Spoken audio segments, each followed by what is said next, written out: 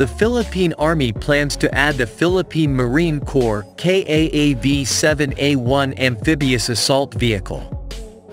The KAAV-7A1 amphibious assault vehicle is very useful to the Philippines, as it can be used on both sea and land.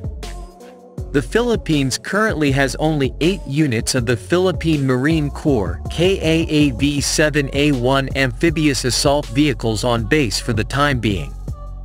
The Philippine Department of Defense ordered the KAAV-7A1 amphibious assault vehicle in 2016 under a $55.5 million contract. As part of the first phase of AAV acquisition, eight units were planned for purchase under the revised AFP modernization program Horizon 1 phase, and the eight units of KAAV-7A1 amphibious assault vehicles were all successfully acquired. With Horizon 3 underway, will the AAV acquisition project continue and additional units be acquired? With the various missions that the KAAV-7A1 amphibious assault vehicle has successfully performed, the Philippine Army should consider acquiring additional units to reinforce the Philippine coast. In recent years, South Korea has sought to expand its presence in the Philippine arms market.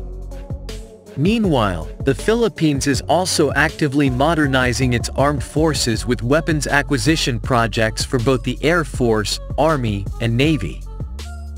The KAAV-7A1 has a length of 8.16 meters, a width of 3.27 meters, a height of 3.31 meters, and a combat weight of about 24 tons. The armored vehicle is designed in the shape of a boat for the ability to swim in the sea. No less than the Russian BTR armored vehicles. Even experts say that the swimming ability of the KAAV-7A1 is stronger than the BTR. The fully welded hull protects the crew from small arms fire, shrapnel, and explosive shells. To suppress residual penetration of shaped charge ammunition, state-of-the-art Enhanced Applique Armor, EAAK, has been added to the hull. Other improvements on the KAAV-7A1 that add to vehicle survivability are the installation of auto fire suppression and an NBC protection system. The KAAV-7A1 is a highly maneuverable amphibious vehicle. They travel 13 kilometers per hour in the water and 72 kilometers per hour on the land, enabling them to achieve effective ship-to-shore transport operations in a variety of adverse sea and land conditions.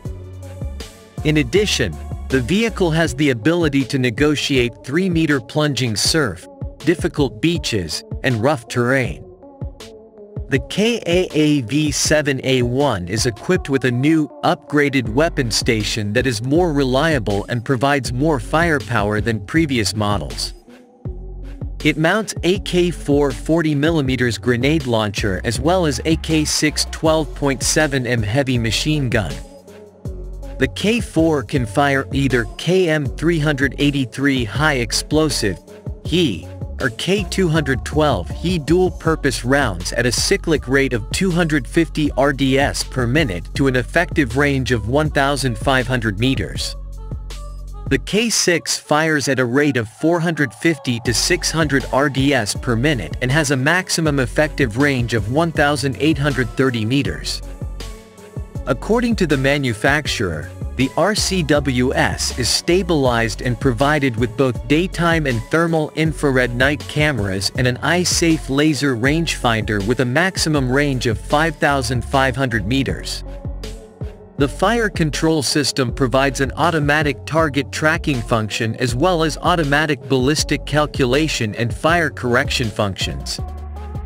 These new amphibious assault vehicles represent a major resurgence for the Philippine Marines and will be launched from the Philippine Navy existing fleet of floating assets, primarily the Tarlac-class landing platform docks that were designed to be compatible with AAVs. Representative of Hanwha Ocean, who recently paid a courtesy visit to Subic Bay Metropolitan Authority, SBMA, Chairman and Administrator Jonathan Tan. It offers the Philippine Navy submarines and it is interesting to note if the Philippines also embarks on the acquisition of additional KAAV-7A1 amphibious assault vehicles manufactured by Hanwha Ocean.